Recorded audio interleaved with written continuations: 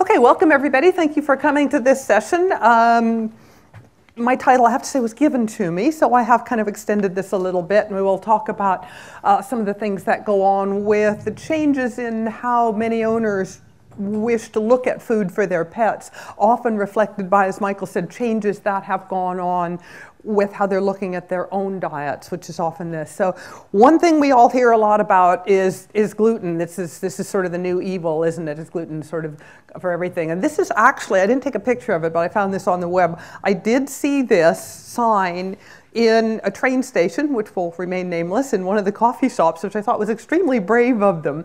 They didn't leave it there very long, and I didn't get a picture of it.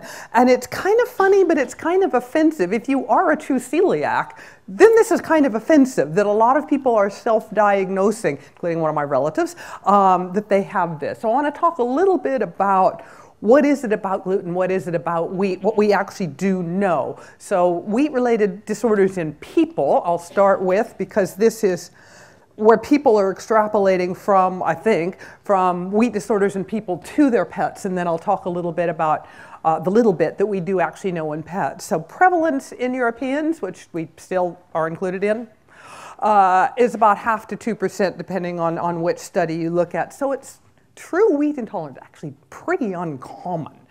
Um, so there are, depending on what you read, there's different ways of categorizing this. There, there are probably roughly three different types. And one is true celiac disease, which is a disorder of the small intestine, so the signs will be small intestinal.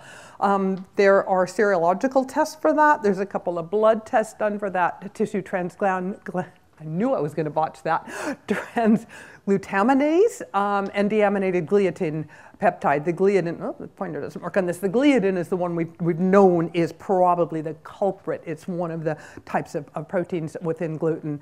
Um, sometimes duodenal biopsies are helpful with this, sometimes they're not. There's also a test called anti-gliadin antibodies, which has a high sensitivity, so it will work as a screening test. If you have celiac disease, this will probably be positive, but if you don't have it, it might be positive too, so it's not that good a, a specificity. It will probably if this test is positive, excuse me, if the test is negative, you probably don't have it. If it's positive, you may or may not have it. So it would be kind of a, a screening test to do for that.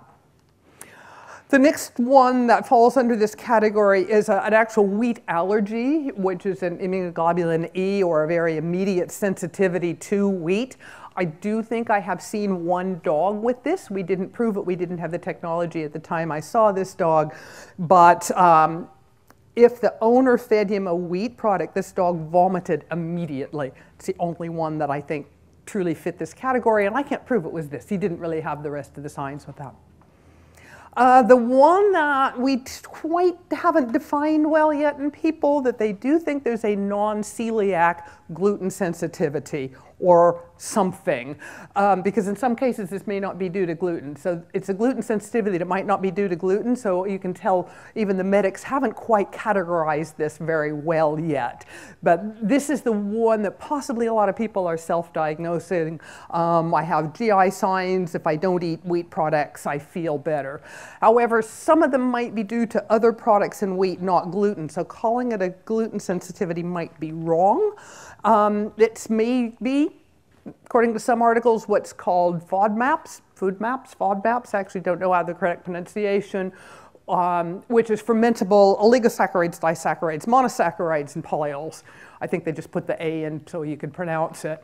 Um, these are things that are in wheat products. They're also possibly in vegetables and fruits, especially the polyols. They're in, in uh, things like rye, beans. So they're in a, they're potentially in a lot of different foods. So somebody who's just cutting wheat products, you know, I won't eat bread because it is bad, and then has some fruit, still could show signs.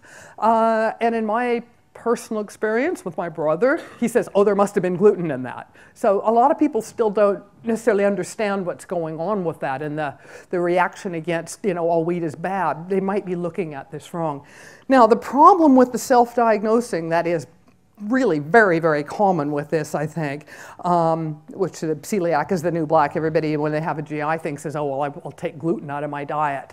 Um, is that if you remove, especially if you remove everything with wheat products in it, especially if you go on to try to remove the fruits, the legumes, all these other products out of your diet, um, you're probably going to end up with some nutritional deficiencies.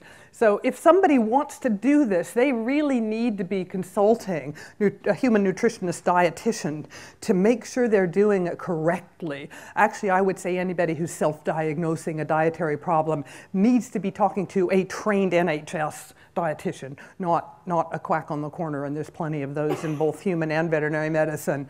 Um, so they need to be talking to someone who actually is trained in this area and not like a two-week course online trained, but properly trained in it. So that's my bit about the human side of things. So we'll move on to dogs and cats. Um, we've known for quite a few years that some, and I realized when I was looking at these slides this morning, I should have put some in here, not all Irish setters, but some Irish setters do appear to have a gluten-sensitive um, enteropathy, small intestinal problem. Uh, these dogs have increased intestinal permeability in a bad way. Uh, and that it's a genetic transmission. So if you have a dog with this, you probably don't want to breed them. Um, and we've known about this for quite a while. There's been quite a few papers written about this gluten sensitivity in Irish setters. More recently, um, there's been a paper on epileptoid cramping syndrome in border terriers, also called Spike's disease, because I think Spike was the first dog diagnosed with it. Um, this is not a fatal disease. The dogs are very uncomfortable. They literally have kind of a spasmodic sort of a, uh, a syndrome with it that's very uncomfortable for the dogs. There's been a study looking at the serum IgA titers in these dogs, which are elevated.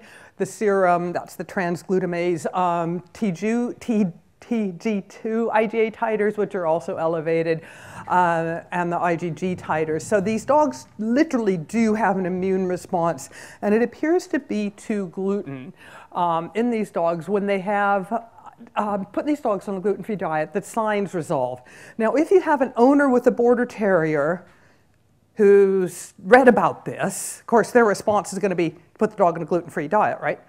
Okay, which is good. The dog might will probably improve if this is really what he has. However, you then cannot test for it. You have to test the dogs when they've been eating gluten, otherwise they won't have the, the immunoglobulins against it because it's no longer there. So just be aware um, if you get questions about this, if people want to test for it, if the owners have already changed the diet, and they're happy with it, they just need to go on with that because the tests will, will no longer be positive. So this is one of the, these two are the best examples that I know of, of a true probably a gluten sensitivity in dogs. That and the one uh, the one Shar Pei that I had, uh, as not my own dog, thank God, uh, the, the Shar Pei client that I had who had eosinophil, eosinophilic uh, IBD and also did seem to respond better to removing wheat from his diet. But that was kind of an unscientific way that I did that part of it as far as doing any testing for specific allergies to wheat. So far, there's no evidence of gluten intolerance in cats, as far as I know, which is interesting because we always talk about, oh, cats are, you know, carnivores and they shouldn't have any grain and all this, but we, I've yet to see a report of gluten intolerance in a cat. I do get queries about putting cats on gluten-free diets. Um, for usually GI problems or skin problems. I, I, guess my response would be yes, we can do a diet trial, but if the cat's already been on a hydrolyzed diet or some other diet that really weans out food problems and hasn't improved, I don't think this is going to make a difference for them. And for those of you who can't read that, it says, this has nothing to do with gluten. It says meowed incessantly for half an hour and got food. Um, this is one of the things that happens with the humanization is how our animals are training us. Okay, grain-free diet's kind of related to the gluten-free idea. I get lots of questions about, want to put my animal on a grain-free diet. Um, they are, you know, evolved from a wolf or lion. Your cats are not evolved from lions, by the way. There's, that's not where they came from. They came from a very small, well, not very small, larger than our cats, uh, cat in North Africa, Felis sylvestricus, libicus. Um, but people kind of get this, if it's natural, it's good. Michael mentioned the word natural. Otherwise, we have this concept that natural equates with good. Amanita mushrooms are natural. They will kill you. Natural is not always good. We also don't have a definition of natural. It doesn't have a legal definition. Anybody can call anything natural pretty much because nobody's going to see you for it because it's not unless there's things have changed. Um, there's some guidance in the human the, sector. Guidance, uh, yeah, yeah, yeah but we Standards Agency, but it's not a. Yeah, it isn't. It isn't really enforced. So, um, so this is sort of considered a more natural diet. Although dogs and cats can digest cooked grains, I don't think I'd feed raw to myself or, or dogs or cats. Um, and grain-free may not mean carbohydrate-free, and some owners don't get that there are grains, excuse me, that there are carbohydrates like potatoes, which are not grains. So if they're looking for carbohydrate-free, this is not the same thing. Um, and if they do end up with a low carb diet, which you're probably going to do if you do grain free, yeah, you can use some other sources, but it's going to be high. There's only three pieces of the pie. I think Dr. Villaverde has uh, something similar on her slides too. There's only three pieces of the pie that make up the calories that we take in. There's fats, there's proteins, there's carbohydrates. That pie has to be complete. You can't take a chunk out of it. Um, so if you increase one, you have to decrease one or two of the others. If you decrease one, you have to increase one or two of the others. So if you do, there's no pointer. If you do a low carb diet, corner down here, the low gray, um, your fat and your protein probably are going to go up. One or both of those have to go up. So grain-free diets, if you end up with a high-fat diet, this could cause some problems. Um, pancreatitis in dogs, possibly even in cats. Uh, literature has been equivocal on that, but I think uh, I'd certainly have some colleagues who feel they have seen um, some problems in cats on very high fat diets. So uh, hypertriglyceridemia in dogs, uh, also in cats, especially if they are genetically predisposed to it, as are, say, some of the Burmese cats. Obesity, Fat has over twice the calories of carbohydrates or protein, so if you have a high fat diet, it's probably going to be a high calorie diet. So, and especially if it's a high saturated fat diet, that has all sorts of other ramifications that I don't have time to go on to. Basically, saturated fats are, are poison. That's a very biased view, and I, I, I can substantiate that, but I won't. High protein might be okay in some animals, I think you need to handle that carefully. Uh, in some cases, some of the, say, working dogs, uh, increased protein is probably not a bad idea. Some cats, if they're young and healthy, probably not, not a problem for them. But then if we get into an animal who maybe has subclinical renal disease, something like that, then we need to watch because with protein goes phosphorus. You need to realize high protein diet is going to be high phosphorus diet. And we have to ask the question, do we want this in this animal? a lot of the uh, renaliths, uh, uroliths, protein needs to be decreased. So we'd need to pick our patients carefully for that. And carbohydrates actually do have a good nutritional value. Um, they're pretty important during lactation. It's easier to make lactose from glucose than it is from fats or protein. So if you have a lactating uh, bitch or queen, it does help them with lactation. If you have a working dog, uh, not too many working cats. Um, but if you have a dog who is either pulling sleds or even running short races or playing with frisbee for hours, their first energy source, or one of their first energy sources, is the glycogen from their muscles uh, and then from their liver. The best way to replete that is with carbohydrates after they work, and it will become depleted as part of the reason for fatigue. So they, there are places where this is not only usable but essential. Okay, dry diets, we get lots of questions about. Cats shouldn't be on dry diets. Um, they're, they're too high in carbohydrate for cats, and they may be high in carbohydrates. Those of you who uh, are making foods know that if you're making a dry diet, especially with the extrusion process, I'm not a food scientist, so feel free to correct me, any people who are, um, but it does help with that process to have an increased carbohydrate amount in those diets. And then we get the feeding dry diets causes obesity in cats. Um, yeah, if you feed all they want, it will. If you feed, if you eat all you want of anything, you will eventually probably gain weight unless you have an extraordinary metabolism. Um, so I think the thing with dry diets is they're easier to feed free choice, which might be why sometimes animals will gain weight because the food's always there and the cats kind of realize they can eat as much as they want. If it's highly palatable, then yeah, you'll gain weight. But it's not the dry diet itself. It's not the form of the diet necessarily causing it. They don't cause or increase the risk of diabetes mellitus in cats. Because we treat diabetes, type 2 diabetes mellitus in cats with a high protein, low carbohydrate diet, some people have gone on to say, well, then if we feed that low carb diet initially, they won't get it. They won't get diabetes. It's not that they won't understand it. Um, they won't get diabetes. Uh, it's a, intuitively, that's a understandable leap. Um, and because of that, because several nutritionists have studied exactly this, is this a cause? And it's not. The obesity is. The dry diet itself and the carbohydrates don't cause it, even though we treat um, with a low carb diet, they don't cause it. Being fat does by a lot. Cholesterol, I'm going to do this one pretty quickly. Dogs and cats, uh, unless the dog is or rarely a cat is hypothyroid. They do not develop atherosclerotic plaques uh, in their arteries. They do not develop coronary artery disease. Um, they've got some differences in their uh, LDLs and their types of cholesterol. That means they're protected from that compared to people. Um, if you do have a fat cat, their cholesterol might be higher. So if somebody measures the cholesterol in a fat cat, it's higher. It's not the cholesterol that's the problem. The obesity is the problem. And uh, yeah, I have a couple of vets who have consulted with me um, about owners who get very hung up um, about the cholesterol value of their pet. I've got one dog and one cat, but the owners keep coming back going, this cholesterol's high. And my answer to that generally is deal with the other problems and quit, quit measuring it. It's just like, don't, don't do that anymore. You know, get away from it because it's not really probably causing a problem as far as we know. Okay, what pet foods contain I might run over a little, Michael. Just yell at me if I do. I'll cut to the end. Um, how many of you actually work for a pet food company or involved in a pet food company?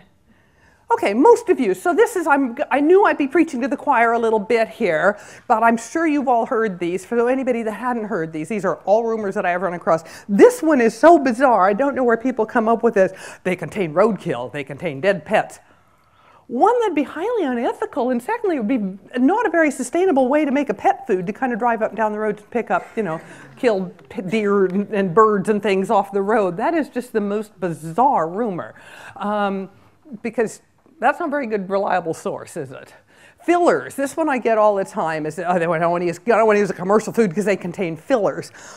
I've yet to have a good definition of a filler. I actually don't know what people think is in their sawdust. I really don't know what they think is in there. I think it's carbohydrates, I think, or fiber, which are both nutrients that are beneficial for health. Carbohydrates and nutrient fiber is very essential for a lot of things, especially for the health of the colon, unless you have FODMAP gluten sensitivity. Um, so that one mostly just bemuses me. Byproducts. Yeah, byproducts are in pet food. Unused products from, and I actually took this from the PFMA website. Thank you, Michael. By use unused products from the human food industry where animals are slaughtered under veterinary supervision, including things like heart, lung, might be muscle meat, which are not traditionally eaten by people in this country or whatever country you're referring to. I think they mean England, actually, because I live in Scotland we eat some things that other people might not be eating. Uh, yeah, we eat, you know, stomachs of cows and blood and some other things that in other, in some cultures would definitely be considered byproducts.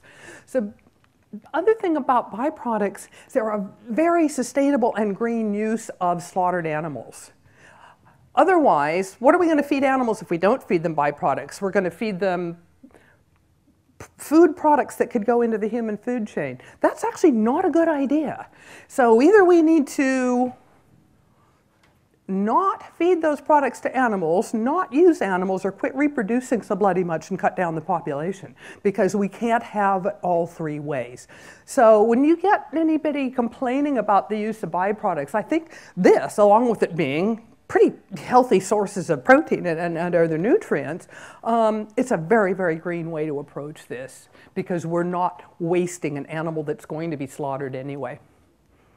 Uh, we had a little argument about whether or not I got to include this one, but because I get this a lot, bones are good for teeth.